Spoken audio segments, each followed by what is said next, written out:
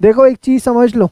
अगर आप एग्ज़ाम के अंदर देखो तो 120 नंबर का पेपर आता है। कितने नंबर का? 120 अगर आप इसमें से सिर्फ़ 75 मार्क्स का पेपर बहुत अच्छे से करके आ जाओ ना, सिर्फ़ 75 मार्क्स का तो आप 101 परसेंट पास हो सकते हो, क्योंकि आईसीआई के अंदर जो पेपर चेकिंग है, वो रोबोट नहीं करते, वो भी इंसान कर रहे हैं। जैसे ट्वेल्थ में होती थी, यहाँ पर भी वैसे ही होता है। सब कुछ सही लिख के आओगे तो पूरे नंबर मिलेंगे आपको।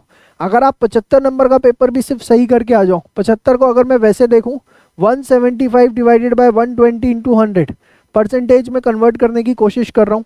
लगभग लगभग आप ये देखेंगे कि 62 परसेंट के आसपास आता है। मतलब सिर्फ़ 62 परसेंट सिलेबस अच्छे से हो जाए तो हम 75 मार्क्स का पेपर जो है वहाँ पर कर पाएँगे। और अगर हम 75 मार्क्स का पेपर करके आ गए तो ये मैं गारंटी देता हूँ कि आप जो है एग्ज़ाम निकालेंगे do not focus on hundred percent exam अगर सिर्फ़ आप ये कोशिश कर रहे हैं कि मैं फटाफट वीडियो लेक्चर्स देख करके या किसी के लेक्चर सुन करके जो है अपना हंड्रेड परसेंट कोर्स कर लूँ, नहीं फ़ायदा। सिलेबस को तीस परसेंट कम कर लो और वो टाइम जो है आप कोशिश करो कि ज़्यादा से ज़्यादा आपने टेस्ट पेपर्स देने हैं। ये regular test paper is the sole key to crack the C exams. यही प्रॉब्लम है कि बच्चे टेस्ट नहीं देते हैं और उनका रिज़ल्ट नहीं आता है। इससे बड़ी कैलकुलेशन आपको क्या बताऊँ? 120 मार्क्स का पेपर आएगा 75 मार्क्स का पेपर भी अगर आप ठीक करके आ गए तो आप 101 परसेंट एग्ज़ाम में पास हो गए। ये 75 मार्क्स का पेपर ऐसा होना चाहिए कि आप आकर के बोलो कि सर, इसमें तो एक नंबर की गलती भी नहीं हो सकती। सर 120 नंबर का पेपर कैसे आएगा? क्योंकि 20 नंबर के क्वेश्चन चॉइस के भी आते हैं।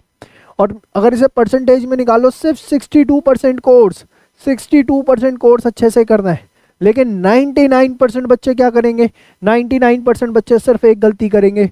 और वो गलती क्या होगी? कि वो 100 परसेंट कोर्स करने की कोशिश करेंगे। और आप 100 परसेंट कोर्स कर लो, बहुत बढ़िया है, मैं मना नहीं करता। लेकिन एक चीज़ समझो, अगर हर बच्चा 100 परसेंट कोर्स कर लेता है और उससे रिज़ल्ट आ जाता है तो ऑल इंडिया रैंक तो सबकी आनी चाहिए। अरे भैया, all India rank one, two, three सिर्फ़ एक एक बच्चों की आती है। उनको हटा दो, तुम उस कैटेगरी के नहीं हो। मैं ये नहीं कह रहा कि आप नहीं बन सकते बन सकते हो, सब कुछ हो सकता है एवरीथिंग इज़ पॉसिबल लेकिन अभी पहला क्राइटेरिया अरे चलो छोड़ो ऑल इंडिया रैंक की भी बात करते हो आप लोग तो उनको भी पहले 200 तो लाने पड़ते हैं, उसके बाद के ऊपर होते हैं ना। तो वही मैं आपको समझा रहा हूँ, पहले 62 परसेंट सिलेबस अच्छे से कर लो टेस्ट दे लो, उसके बाद समय बचे तो बाकी कर देना किसी ने मना थोड़ी ना किया है आप लोगों को।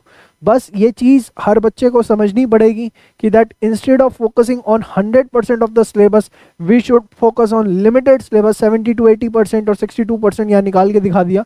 बट येस आप हर चैप्टर को कंप्लीट करने के बाद चैप्टर वाइज टेस्ट ज़रूर देना है फुल कोर्स मॉक टेस्ट ज़रूर देना है। डाउट जो है, जो भी डाउट्स आते हैं, उसको इग्नोर मत करो। टीचर के साथ वन टू वन डिस्कस करना है।